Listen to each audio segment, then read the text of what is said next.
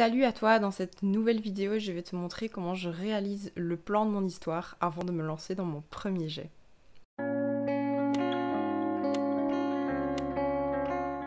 Si tu n'arrives jamais à finir tes premiers jets, peut-être que cette vidéo est pour toi. Rédiges-tu un plan au préalable? Si ce n'est pas le cas, peut-être que là est la solution. Planifier son histoire a pour moi quelque chose de rassurant. On sait d'où on part, on sait où on va et on sait toutes les étapes par lesquelles nos personnages doivent passer. Il y a mille et une façons de réaliser le plan de son histoire, mais ici je vais te présenter la mienne. Et il n'y a pas de mauvaise ou de bonne solution, il y a juste des solutions qui marchent. Quand je fais le plan de mon histoire, j'essaie de rester un maximum flexible pour pouvoir adapter en cours de route des choses si nécessaire et si j'en ai l'envie. Si tu n'aimes pas planifier ton histoire, je te conseille quand même de connaître les grosses étapes euh, du schéma narratif qui sont la situation de base, l'élément déclencheur, quelques péripéties, le dénouement et ta situation finale.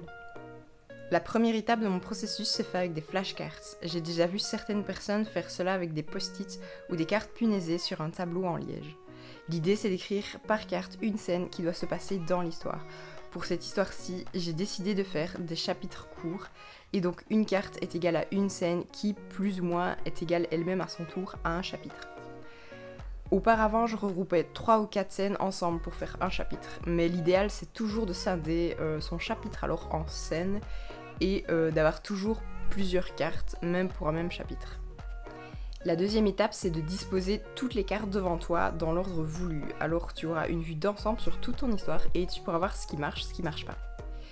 Lorsque cela est fini, moi j'annote toutes mes cartes au crayon et je les empile dans l'ordre. Le petit numéro au crayon est là uniquement par sécurité au cas où tu mélangerais par mégarde de tes fiches. Si tu voulais ajouter des scènes et donc euh, des fiches par après, il n'y a aucun problème. Tu les numéroteras alors par 1A, 1B, 1C, etc. La troisième partie consiste à reprendre toutes mes fiches dans un tableau Excel. Euh, donc les deux premières colonnes verticales reprennent le numéro du chapitre et une brève description de celui-ci ou le numéro de la scène et une description de celle-ci. Ensuite, les colonnes euh, suivantes sont utilisées pour garder un œil sur les intrigues. Donc une colonne par intrigue pour avoir ainsi une vue d'ensemble sur quel indice est mis à quel moment, quelle information ou quelle explication doit être donnée, etc. Voilà, c'était mon processus de création de plan d'une histoire. J'espère que ça t'aura aidé. Alors comme je l'ai déjà dit, il n'y a pas de bonne ou de mauvaise manière, il n'y a que des manières qui vont fonctionner pour toi.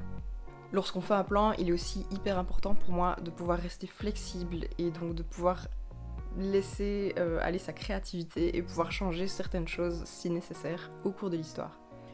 N'hésite pas à mettre en commentaire ce qui fonctionne pour toi, ce que tu as déjà essayé, ce qui marche pas pour toi, etc. N'hésite pas non plus à t'abonner pour être sûr de ne rater aucune vidéo et je te dis à la semaine prochaine.